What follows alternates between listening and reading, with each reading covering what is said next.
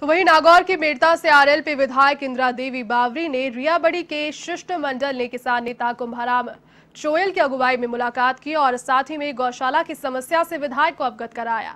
तो वहीं इस समस्या को देखते हुए विधायक ने विधानसभा क्षेत्र में गौशालाओं की वर्तमान स्थिति को लेकर ग्रामीणों और साथ ही में गौशाला संचालकों से चर्चा की। इसके बाद विधायक ने गौशालाओं की समस्याओं को दूर करने के लिए सरकार से विशेष पैकेज की मांग की है।